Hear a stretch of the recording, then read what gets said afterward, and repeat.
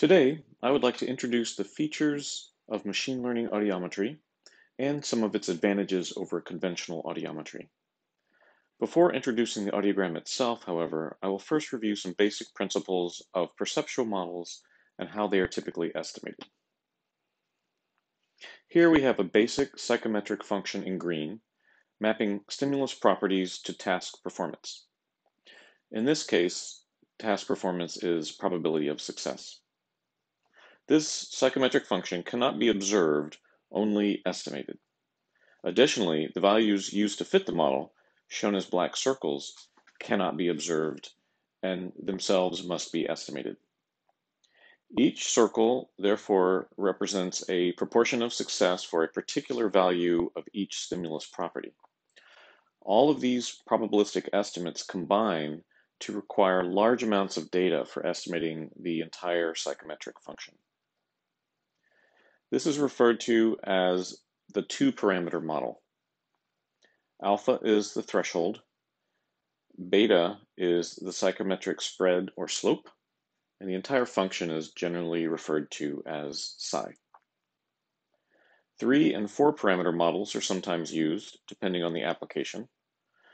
And the result of this type of modeling is fully predictive models capable of providing a probability of any particular outcome, mapping any particular stimulus property to success. Empirical studies have shown that 200 to 500 trials are required to obtain reasonable estimates of these models. This requirement is prohibitive for almost all clinical or even research applications.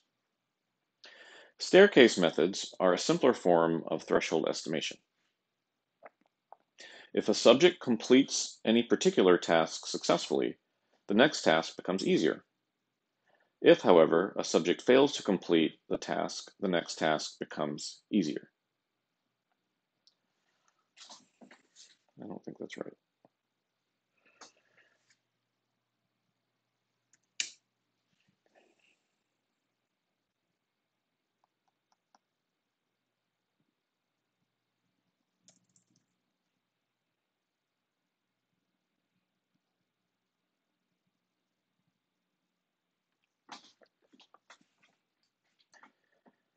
Three, two, one, go.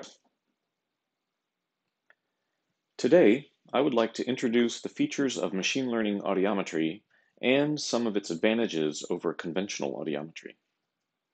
Before introducing the audiogram test itself, however, I will first review some basic principles of perceptual models and how they are typically estimated.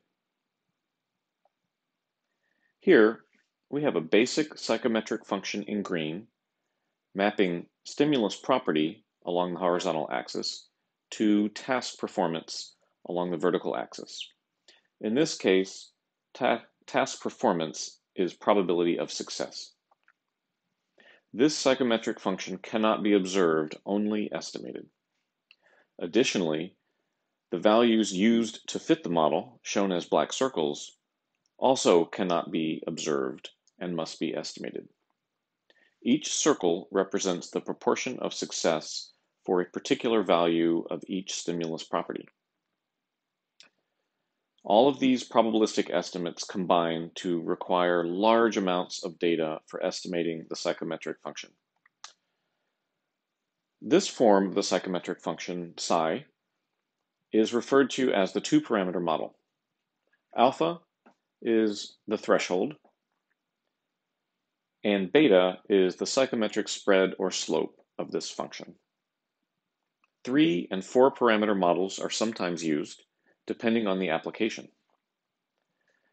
The results of this type of modeling are fully predictive models capable of providing a probability of any particular outcome as a function of any particular stimulus property. Empirical studies have shown that 200 to 500 trials are required to obtain reasonable estimates of these models. This requirement is unfortunately prohibitive for almost all clinical or even research applications. Staircase methods are a simpler form of threshold only estimation that are quite efficient. If a subject completes any particular task in the sequence successfully, the, net, the next task becomes harder. If a subject fails to complete any particular task, however, the next task becomes easier. This simple one-step memory sequence provides a robust estimation procedure. A staircase can be thought of as a one-parameter model. It delivers only the threshold, however. The threshold is not a fully predictive model.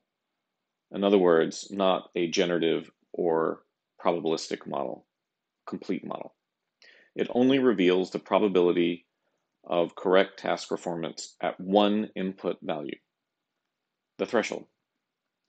Spread or slope are not estimated, but assumptions about those values are used to make the staircase more efficient. The audiogram has two independent variables, unlike the one independent variable psychometric functions we've just seen. These variables are intensity or sound level and frequency. The intensity variable follows all the rules of psychometric function estimation with stimulus properties that we just saw. Frequency, however, does not. The most common approach to estimating audiograms is not to build more complex models that can accommodate those two types of input variables. Instead, multiple staircase procedures are performed at different frequencies in sequence. The result is not a fully predictive model, but a series of discrete thresholds. While uh, relatively efficient and robust, a major limitation of this procedure is that information cannot be shared effectively. As a result, it is challenging to improve the current methodology further. Here is an example of a conventional audiogram conducted by an audiologist. Note that audiograms are usually depicted with inverted vertical axes. We can see this audiogram take shape with each tone delivery. The series of staircases is obviously suboptimal. Even after we have collected a few responses at 1 kilohertz, for example, we continue to sample there, even though it's clear we know more about the audiogram structure at 1 kHz than at any other frequency. This estimation method provides a relatively incomplete picture of this ear's hearing, sampling only at a few discrete frequencies. It does not yield a fully predictive model, and possible extensions of this method are limited. The machine learning audiogram, or MLAG, is a truly multidimensional estimation method. It uses Gaussian process classification in a Bayesian active learning framework to optimize where to sample over the full input domain, meaning tone frequency and tone level or, uh, sorry, tone intensity and tone frequency. You can see the difference between data acquisition of this model estimation procedure and the last one as so. Despite varying both sound frequency and level simultaneously, threshold estimates converge to values close to those of conventional audiometry in the purple line,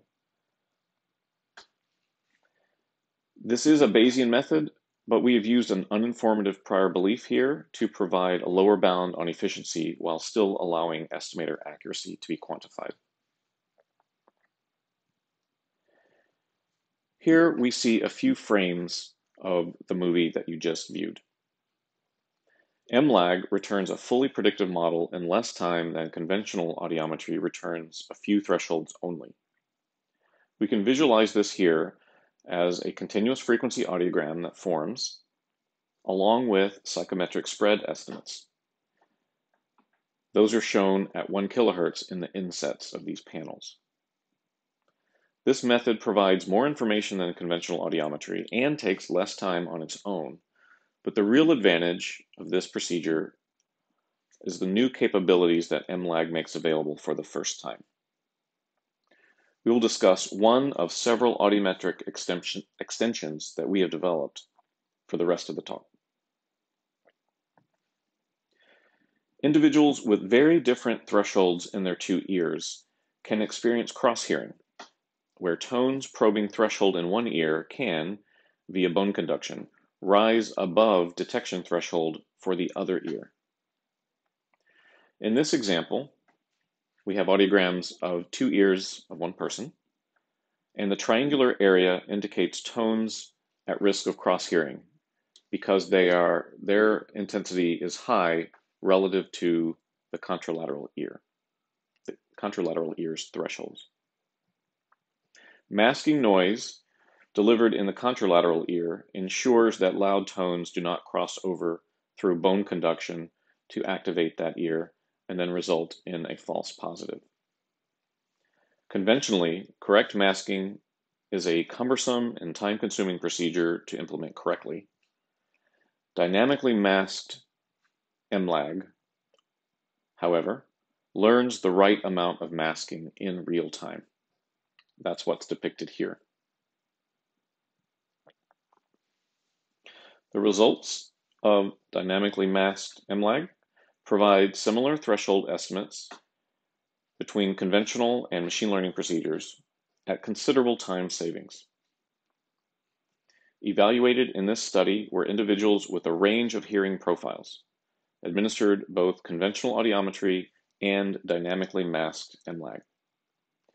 Small differences in thresholds indicate similarity of estimates between the two methods. Dynamically masked MLAGs also require no longer to complete than masked MLAGs, and in some individuals, substantially uh, less time than the conventional audiogram requires to execute.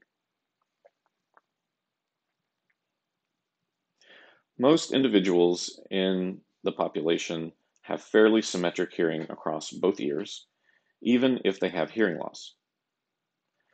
The machine learning audiogram so quickly converges to threshold that the masking noise is almost always below the contralateral detection threshold for a large proportion of the population. As a result, these individuals do not even know they are experiencing, they are experiencing a masked audiogram. For example, symmetric normal hearing individuals and symmetric hearing loss individuals. Very few of the contralateral masking noise stimuli are detected by these individuals. Individuals with asymmetric hearing detect the masking noise, but have been shown to be able to disregard it in order to indicate detection of the probe tones. In this case, every audiogram has become a masked audiogram with no problems achieving accurate estimates in normal hearing individuals and those with symmetric hearing loss not normally requiring masking, and also is able to perform accurate estimates in individuals who do require masking. The end result is an audiogram estimation procedure that can deliver hearing thresholds in both ears at once. Regardless of the amount of hearing asymmetry, in less time than is required for a conventional audiogram. Here, the algorithm optimizes over tone frequency, intensity, and ear simultaneously. The result is that the Estimates for both ears can be obtained in about the same time as is required to estimate one ear. MLAG in all its forms can be delivered remotely or in a clinic with clinician supervision. And with that, I would like to thank the large number of collaborators and trainees who have contributed to this work and also to our funding sources. Thank you very much, and I'm happy to take questions.